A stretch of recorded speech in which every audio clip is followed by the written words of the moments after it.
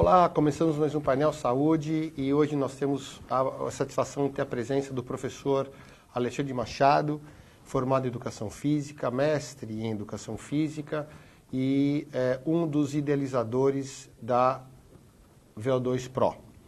Eu queria deixar aqui a, a pergunta para o Alexandre, uma vez que ele é um profissional de grande sucesso na área de assessoria esportiva, na área de eh, programas de promoção de atividade física, que está relacionado à questão do empreendedorismo. O que, que o profissional de educação física tem que pensar, pode pensar, precisa se aprimorar para ter uma ação empreendedora, uma ação inovadora, com ciência, com uma boa aplicação. Alexandre, muito obrigado pela presença mais uma vez. Obrigado, cara, mais uma vez de estar aqui. Ailton, é, olá, amigos, olá, profissionais. Então, falar do empreendedorismo é uma coisa que dá muito tesão, sabe por quê? É, porque hoje, se você não for empreendedor, independente de qual atividade que você seja, se você não tiver um espírito empreendedor, você não vai ter um crescimento dentro da profissão. E algumas pessoas aprenderam isso na prática e da pior maneira, aquela maneira que ou vai ou não vai, uhum. né? e tem que ir. E comigo também foi assim. E, e, basicamente assim, o meu exemplo mais forte do, do, empreendedorismo, que me fez assim mergulhar de vez, de corpo inteiro, que eu costumo dizer, não mergulhar cabeça, mergulhar de corpo inteiro, foi a VO2 Pro. Então, foi uma metodologia, que era uma proposta metodológica que eu comecei a trabalhar com os meus alunos e meus atletas, que virou curso depois de um bate-papo com dois amigos influenciadores, que foi o Antônio Carlos Gomes e o Galo, um bate-papo no congresso. O Antônio Carlos tem que virar um livro, o Galo tem que virar um curso. Acabou virando tanto livro como curso. E depois de curso, acabou virando uma empresa. E hoje nós temos mais de 6 mil profissionais certificados dentro da VO2 Pro ela trabalha com duas propostas de treinamento, a corrida de rua, que é o nosso carro-chefe, e também o treinamento ligado ao fitness, que é o HIIT Bodywork, e o treinamento em circuito. E a gente vai estar lançando já um outro produto, que se chama 2XF, que é um treinamento funcional, de, um treinamento de força funcional, direcionado basicamente para dois grupos, que eu ainda não posso falar.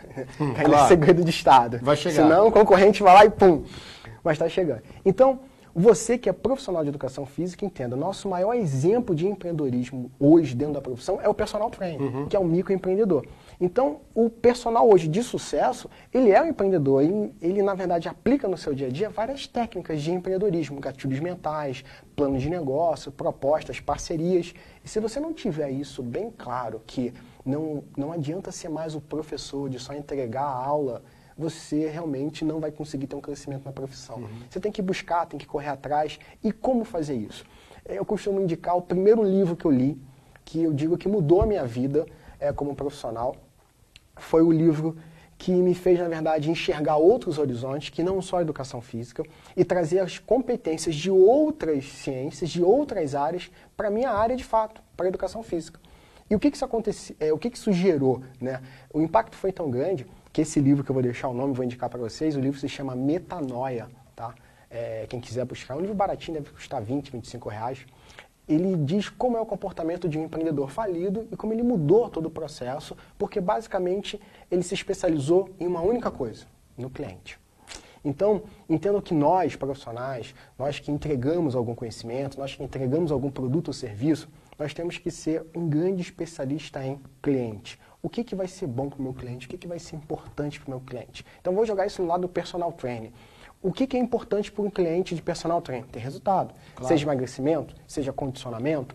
Quais são as ferramentas que vão te levar a isso? Aí a gente tem a busca do conhecimento, as metodologias de trabalho, mas também temos que ter a entrega. Como isso é entregue? Como você vai cultivar esse teu cliente, que seria o CRM, o marketing de relacionamento. Então, todas essas estratégias faz do profissional personal trainer um empreendedor nato. Só que profissional de educação física não precisa só o personal ser um empreendedor. Você que gosta de trabalhar com recreação, você que gosta de trabalhar com outros projetos que não tem nada a ver na linha de, é, de personal training ou recreação, por exemplo, atividades de gincanas, é, atividades lúdicas esportivas ou até mesmo escolinhas de esporte, é muito importante. O sucesso do teu negócio né, vai depender muito de quanto você se empenhar como empreendedor, de quanto você mergulhar na veia empreendedora, buscar novos conhecimentos. Hoje há muitos livros, há muito conteúdo sobre empreendedorismo, mas o melhor conteúdo é aquele que você vai aplicar na prática, aquele que você vive no dia a dia. Só aí você vai conseguir realmente adaptar a sua necessidade né, com a proposta do mercado e o que o cliente está exigindo de você como teu produto.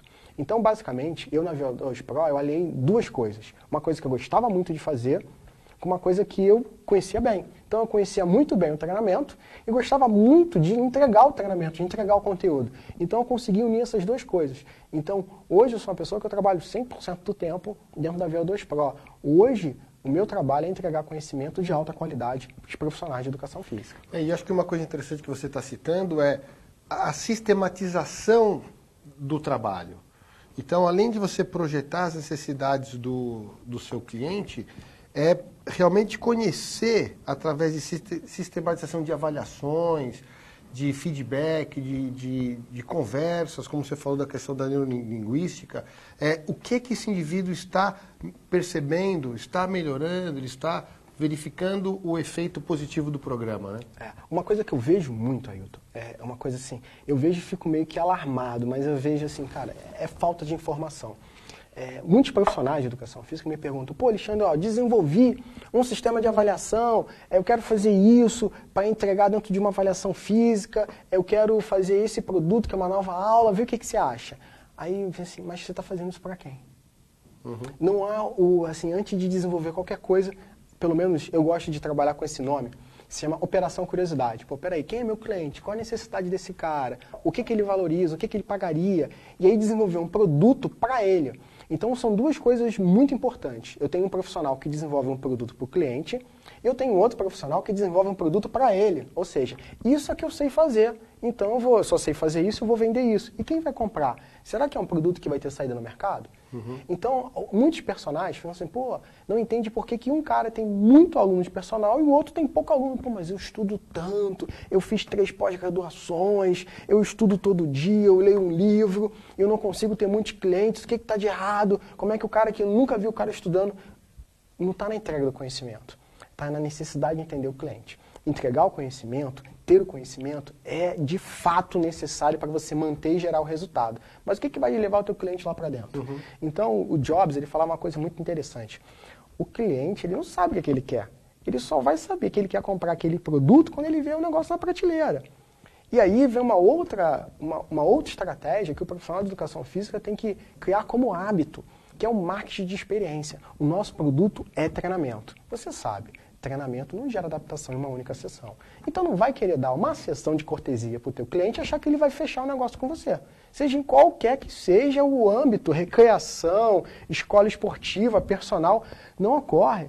Cara, gera uma semana pelo menos. E aí eu estou unindo a qualidade técnica com a qualidade empreendedora, né, de gestão. Uma semana, porque uma semana dentro da periodização, uma semana é a menor unidade funcional de treinamento. É a menor unidade que gera algum tipo de resposta biológica. Uhum. Então é o mínimo que você vai trabalhar para poder gerar uma experiência no teu cliente.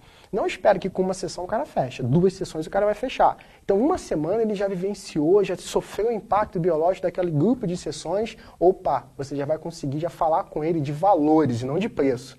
Então ele vai ter uma percepção diferente. Agora, ah, eu dou uma sessão grátis, se o cara não quiser, mais de uma ele vai ter que pagar.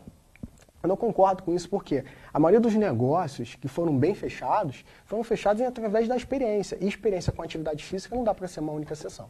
Muito legal. Ale, eu quero que você volte aqui para falar sobre oh prescrição, métodos de treino. Tudo bem? Vamos. Meus amigos, muito obrigado. Mais uma informação importante para vocês, a visão do empreendedor, tá bom? O painel Saúde fica por aqui. Tchau, obrigado. galera. Valeu, valeu. Valeu, obrigado. Obrigado.